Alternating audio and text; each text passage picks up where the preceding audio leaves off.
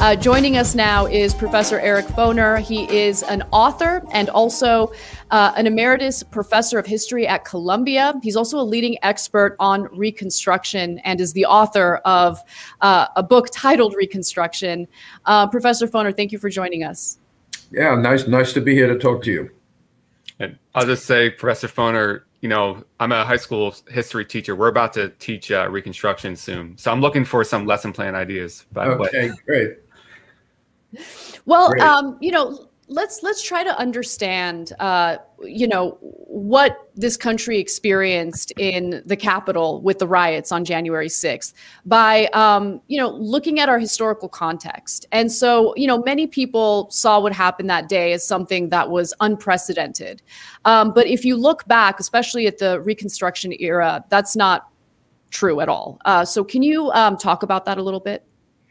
Yeah, well, uh, I was watching those events on January 6th on TV, like many people were, and the commentators kept saying, you know, this is unprecedented. This is not who we are. This has never happened before. Uh, yeah, it's unprecedented when it comes to the Capitol itself, the building itself. We, we haven't had a mob uh, storm the Capitol before, but certainly in during and after Reconstruction, that is in the last third, let's say, of the 19th century, you had a good number of violent episodes by white supremacists trying to and sometimes succeeding in overturning democratically elected governments, biracial governments, because in Reconstruction, for the first time in American history, African American men uh, enjoyed, uh, you know, significant political power. Uh, and this, of course, produced a, uh, pretty violent backlash among uh, most of the white South. Uh, so yeah, you had events like the Colfax massacre in Louisiana, 1873, when uh, again armed an armed mob of whites uh, surrounded the the county, or they call it the parish in Louisiana. Uh, courthouse and eventually killed a whole bunch of black militiamen who were defending the local government. You had the White League in New Orleans in 1874, uh, an uprising trying to overthrow the um, elected government of Louisiana. After Reconstruction, you can go to the Wilmington riot of 1898, where again, an elected biracial local government was just ousted by a kind of armed coup d'etat by a white mob. So, in other words, we have seen this kind of thing before. Uh, unfortunately. Yeah, and can can we get into uh, Reconstruction itself? It's a really fascinating period of our history, and, and obviously, like you just mentioned, there was great repression. Um, so, could you talk about what was re- uh, Reconstruction broadly, but also what were some of the progressive gains that were made yeah. during Reconstruction? Well, Reconstruction, uh, that term is used for two not two slightly different things. One is it's a time period of American history. It's the usually the, the 12 years after the Civil War, 1865 to 1877, uh, sort of like the Progressive era, the New Deal. It's a period of American history. But more significantly, I think Reconstruction is a very complicated historical process. It's the process by which the country tried to come to terms with the abolition of slavery in this country. You know, there were 4 million slaves in the United States in 1860 on the eve of the Civil War. This was by far the largest slave system the modern world has ever known.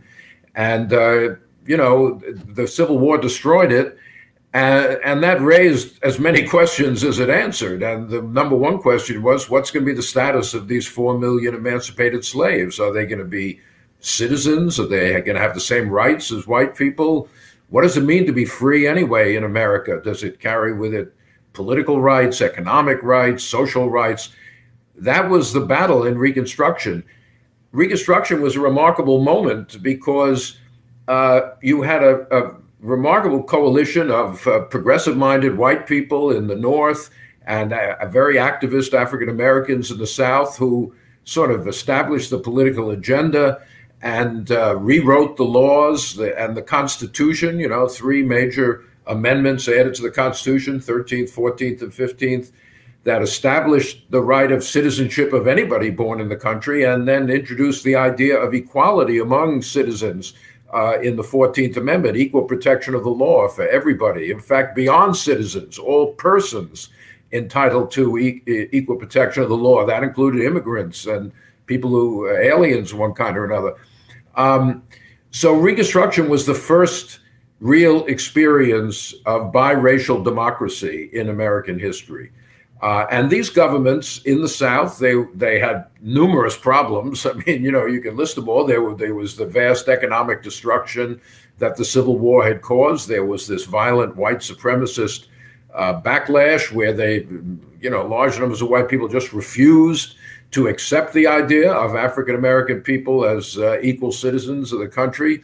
Um, and um, you know, they face a lot of challenges building from scratch a Republican Party, a biracial Republican Party in the South, uh, and dealing with uh, Northern allies whose, whose interests often weren't quite the same as those of recently freed slaves.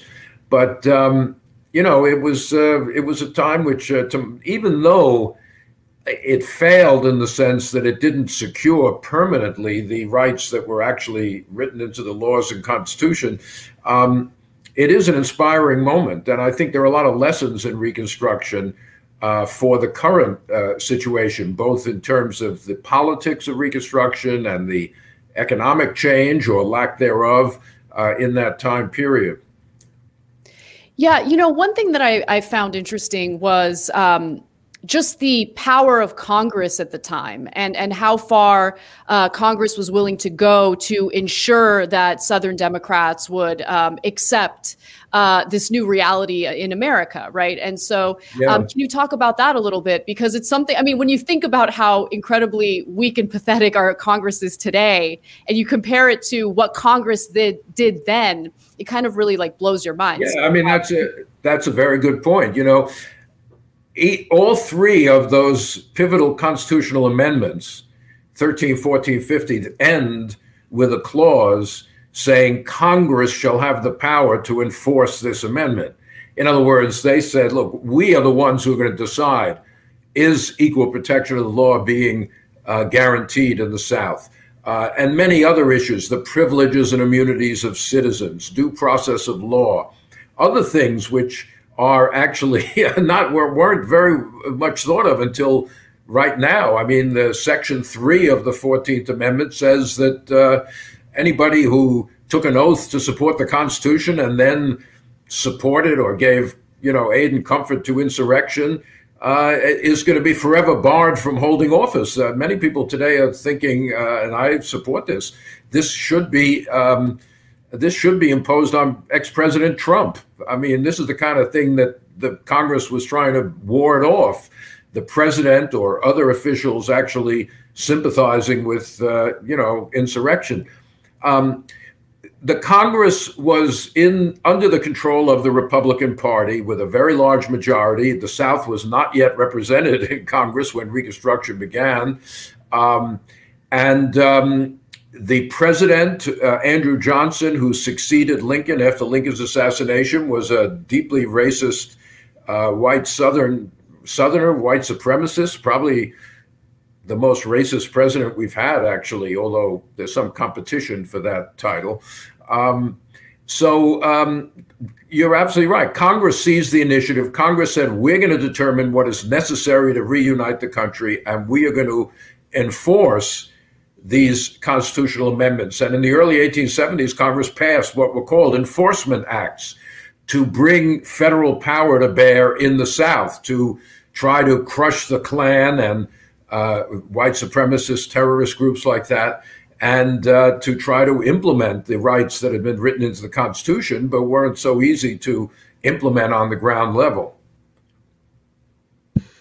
And uh, can you talk a little more about the conservative reaction to Reconstruction, um, and especially, you know, the populist movement kind of showed some examples of poor white people uniting with poor black people, and you know, if that was destroyed, then the whole hope of Reconstruction was. So, how did they get poor white people to, you know, join yeah. the reaction? What was the propaganda? And I mean, what can we learn from that today as we're dealing with the situation where many people are supporting the far right who it's not really in their interest to do so.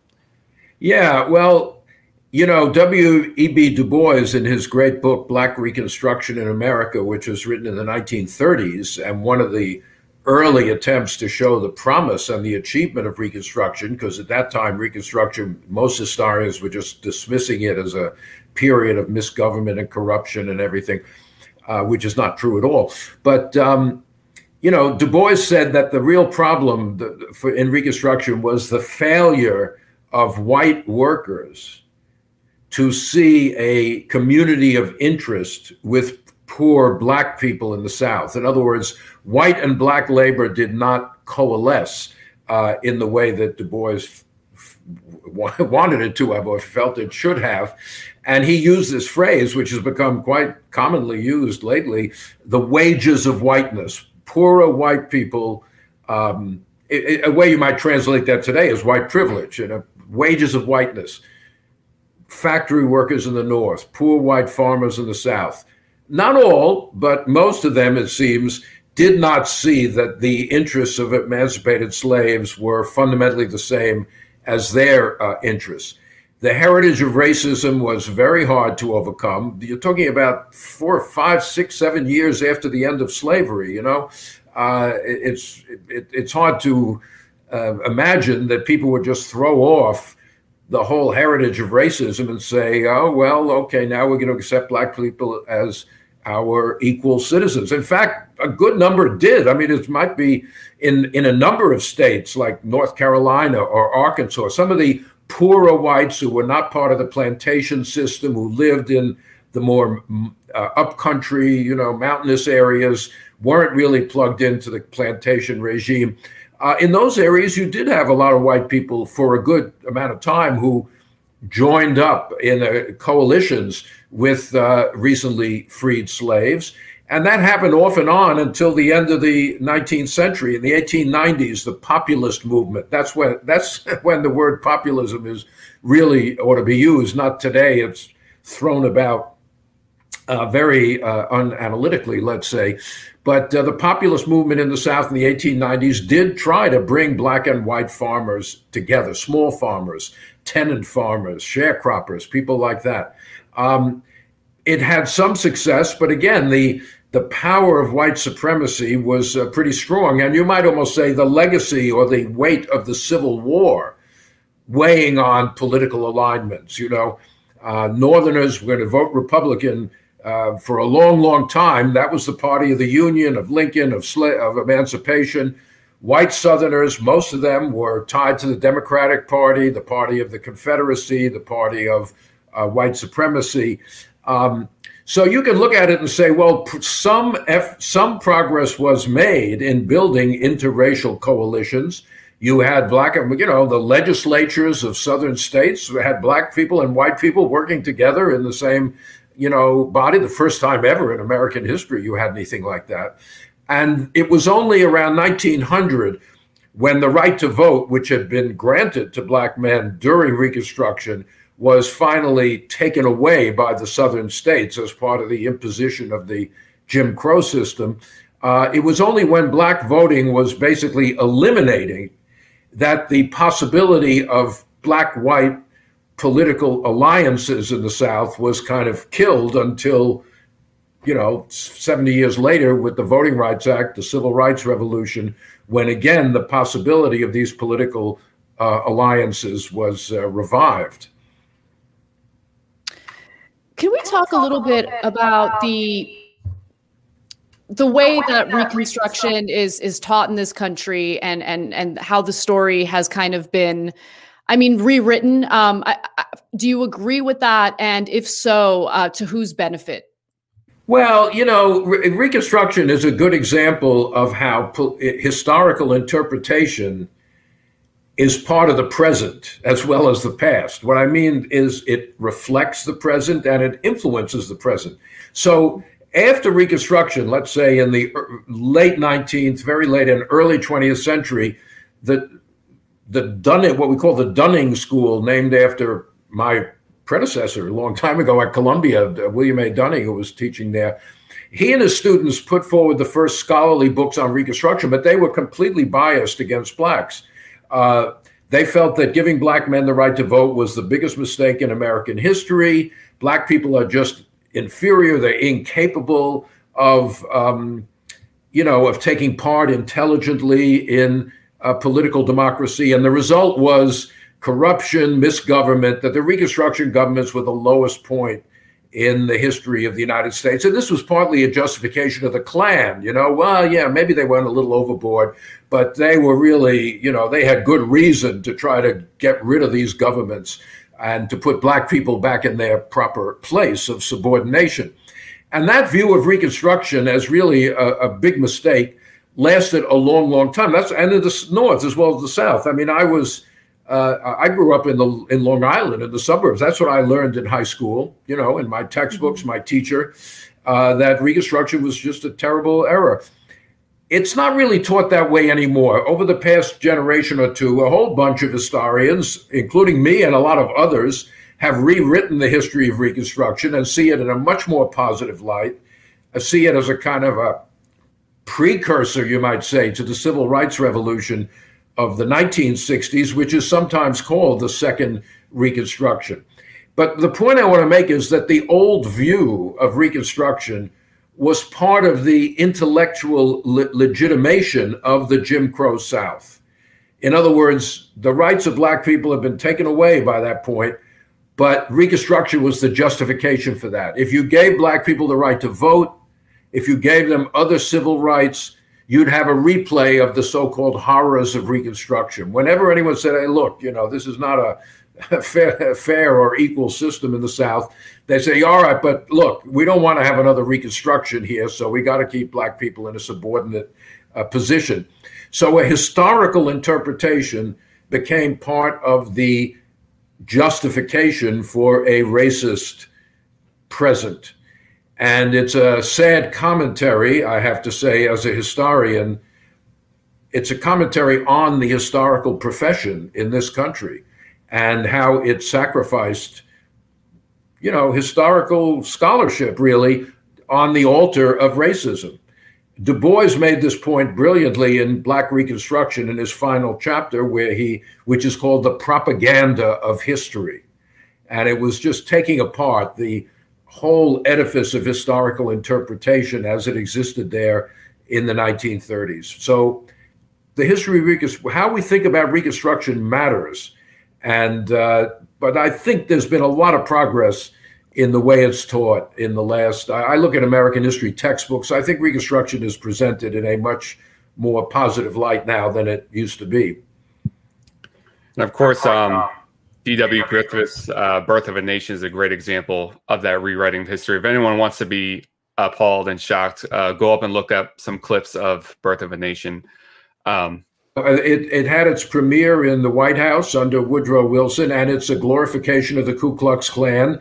And um, again, it's the same point. A lot of it is about Reconstruction and the so called just collapse of genuine democratic government, and it, it justifies the Klan. So, yeah, in other words, this view of Reconstruction was not just a scholarly issue within the historical profession. It became part of the broad general culture.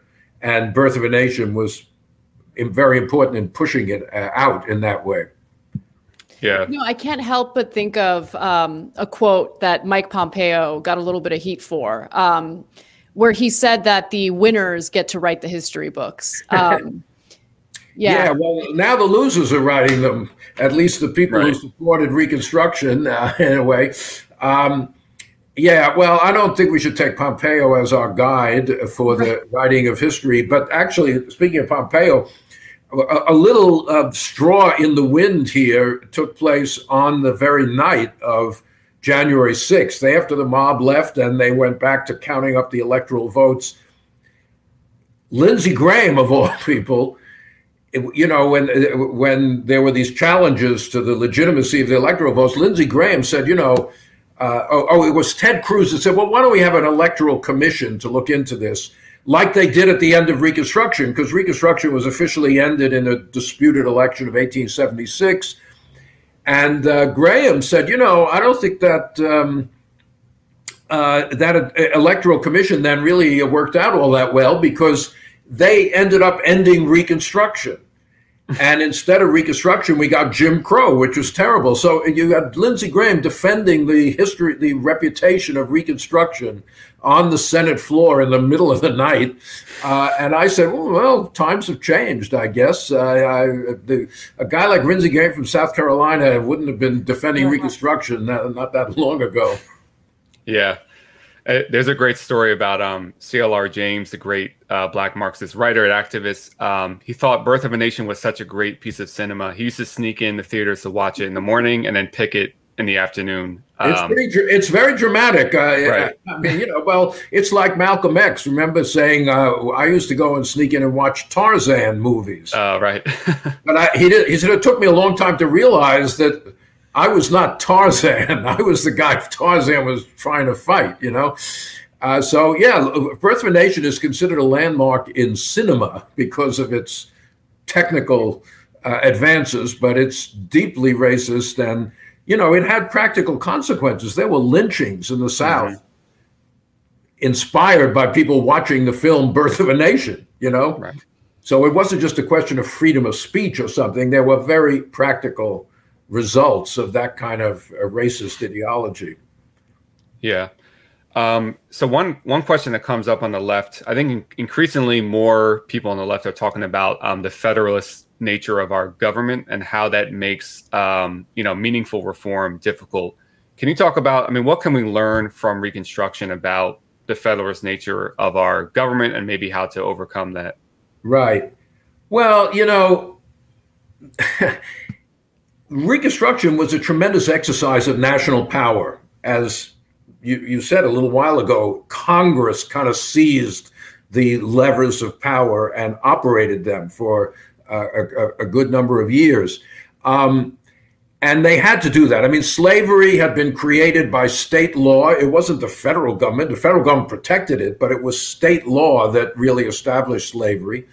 Um, President Andrew Johnson get, created new governments in the South controlled by white people, and they started using their local power to try to push people black into a condition almost of slavery, so-called black code laws, uh, forcing people to go to work or be put in jail, that kind of thing. Um, so it needed federal intervention. It needed national intervention, absolutely. And those constitutional amendments and the first national civil rights laws that were passed in Reconstruction these things, uh, and then even and vigorous action. I mean, in 1871, uh, President Grant sent the troops into South Carolina to crush the Ku Klux Klan, which he succeeded in doing for a while. Later on, that kind of violence recurred, and Northerners had become less willing to intervene on behalf of former slaves in the South. So, um, but on the other hand, you know, I personally, and uh, I don't speak for anyone on this except myself, I, I, think people on the left should not worry so much about federal power, state power. I think wherever you can, you push forward our principles. And there's nothing inherently good or bad about state power or national power. I mean, under Trump, he used the latent power of the presidency in all sorts of terrible ways. Uh, that's national power, but it was was not used properly. You know, national power is very important when you get to a place like Reconstruction. But I'm look look what's happened. You know, what about when uh, the border patrol on the Canadian on the Mexican border is exemplifying national power? So, you know, it, to me, it's not a question of federalism versus state power, national power. It's what are the policies? What are they trying to accomplish? And um, you know, are they good or bad, basically? And I think at any level, people can struggle and should struggle to get you know better policies in this country. You know, on the left right now, there's this uh, debate regarding um, how to respond to the Democratic Party. Uh, should the left be oppositional to the Democratic Party? Um, and you know, if not, what are what are some of the limitations of supporting Democrats at every turn, um, especially under this system where you don't really have yeah. many options? You know, I think you can learn something from Reconstruction. Um, the in you know, you, as I said, the dynamic force was both a- African Americans themselves in the South claiming rights they had never enjoyed, but also the group in Congress called the Radical Republicans. Um, people like Thaddeus Stevens of Pennsylvania, Charles Sumner of Massachusetts, the senator. One of the more ironic, perhaps, photographs from January 6th was a guy with his Confederate flag standing in front of a portrait in the Capitol of Charles Sumner, the great abolitionist uh, member of the Senate from Massachusetts. But the radicals knew how to be radicals within the political system. And they, how they up, they were part of the Republican Party, but they also had their own distinct identity. They pushed for things, but they knew, in a sense, they knew how to use the political system to move forward. They put forward principled stands on everything, on black rights and other things, but they knew when to compromise. They knew you might have to take half a loaf instead of the whole thing at the moment. Um, they worked outside of Congress to promote, to generate public opinion in favor of their uh, their policies, and uh, both in the Civil War and Reconstruction, they were, you know, part of the cutting edge of politics. They weren't a majority. There was never a radical Republican majority in Congress. But in a crisis, people who have a clear program have a lot more power than just their numbers because your mainstream kind of middle of the roaders didn't know what to do about Reconstruction. Mm-hmm. And they tried various things which didn't work out very well. And eventually they said, you know, these radicals, I'm not sure I like them all, but they've got a real plan. Maybe maybe what they're trying to get accomplished here, black suffrage, you know, equal rights, all that, maybe that'll solve the problem of Reconstruction. So, um, you know, my view is you've got to be both in and out of the Democratic Party that's today, or the Republican Party as it was back in the 1860s. Uh, don't just burn all your bridges. That wouldn't really, you don't want to isolate yourself, uh, which is always a danger. Uh, and you don't want to just succumb to the rule of the majority of your party because you're always going to be a minority. But taking the role of the ideological vanguard in a crisis moment uh, can lead to very substantial accomplishments. And I think Reconstruction shows that. And, uh, you know, there was a heavily working class component to Reconstruction and the Republican Party. Um, you know, today there's a lot of talk about it seems like many working class people are leaving the Democratic Party, either dropping out of politics or going to the Republicans. So, mean, what do you think of that? I mean, does it matter? And if it does, what what do we do about that? Well, I think I think it's unfortunate if uh, working class people or any people join up with the Republican Party. That's uh, definitely not the way our country ought to be going. Um, you know, there's a million pundits out there analyzing election returns and all that. It certainly does seem that a shift has been taking place whereby the Democrat, at least the, the, the ways the Democrats win is by attracting a more upper class, or not upper, but upper middle class electorate, um, uh, suburban people. Um, everyone is commenting on how in the last election, 2020, you know, a certain number of African American voters and uh, Latino voters uh, moved actually toward Trump, uh, and that the um, it was actually among white suburbanites that the shift from Trump to Biden took place. You know, I think that's very unfortunate. I think the Democratic Party at the moment is pushing forward policies that would be very uh, advantageous to large numbers of working class people. It's not socialism, it's not social democracy. Uh, all the flaws you can easily identify, and yet compared to what we have had, uh, I think it's many of these policies are a step forward, um, and I think need to be supported by radicals as steps toward greater progress uh, in the in the future. Um, but uh, you, you, know, a, a, part of the problem here is when people talk about working class voters, they tend to they tend in an unspoken way to be talking about white people. You know, most black people, as you were mentioning in your previous segment about black capitalism, most African Americans are working class people. Most Latino people are working class people. Uh, and yet they don't seem to count in the analysis. They are used, they're categorized by their race or their ethnicity, not their class position. So if you add them in, you'll find that there are still a heck of a lot of working class people who are supporting the Democratic Party. And um, one, you know, the, the Democrats have been, over the past 20, 30 years, uh, quite guilty of promoting policies, you know, financialization of the economy, globalization, which have been very disadvantageous to large numbers of Americans, including working class Americans. So, you know, people saying, well, I can't trust either of these parties. Uh, you know, they got a point, so to speak. Yeah. Uh, the, yeah. And, uh, you know, it's, it's, the, the Democrats said, well, trust us, we're different now it takes time for people to uh, accept that. I would assume. Yeah, absolutely. Um, I do have one final question, um, if you mm. allow the time, because I know you of have course, to go. Go ahead. Um, but what you just said um, sparked another question that I had uh, regarding. You know, it, it is interesting that the Democratic Party, I think, makes a very intentional effort to, um, you know, refer to um, the African American community based on their race and and not identify uh, you know their class.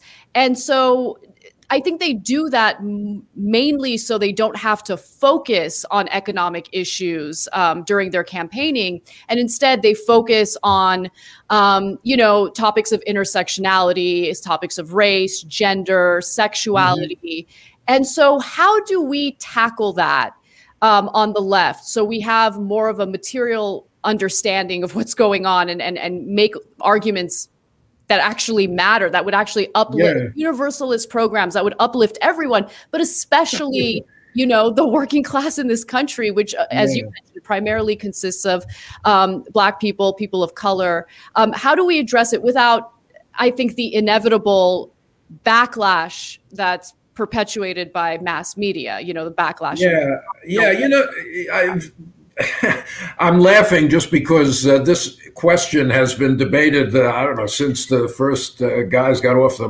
Mayflower boat. You know, um, how do you balance off race and class in a society in which both are bases of inequality of all kinds, but they're not exactly the same thing, even though they overlap in significant ways.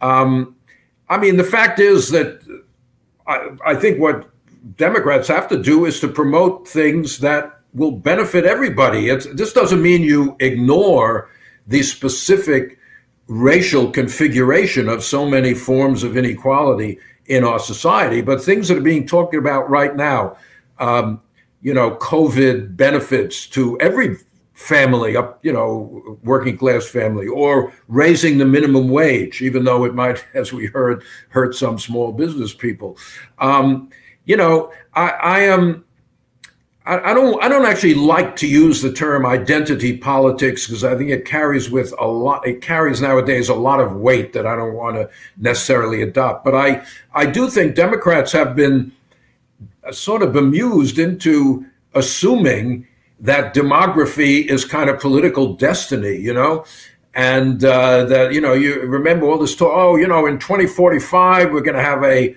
majority minority country. White people will no longer be a majority, and therefore the Democrats are just going to rule forever. Well, we discovered in the last election a lot of people who are not white aren't necessarily Democrats either, and that some of what Trump says appeals to people who are working class but are not, you know, who are non-white, but none the people of color. Um, and I think it's it's important to get away from the idea that be, by virtue of being a person in color you, of color, you are automatically kind of assumed to be a Democrat forever. And I think once we get away from that idea and realize we have to appeal to people all across the board, um, maybe uh, now that doesn't mean dropping a, a, a, critique of racist policing or things like that, but it does mean uh, not only talking about things that are specifically uh, affecting one group or another, but trying to talk about things that are good for everybody, or at least the large swath of the population. Professor well Eric Foner, thank you. Yeah, that that was. Thank you for answering that question. I appreciate it, and I appreciate you, um, you know, being so generous with your time today. My um, pleasure. My pleasure. I'm, I'm, happy to talk to you, and um, let keep up the fight. Right. Thank you so much. Okay. Bye bye.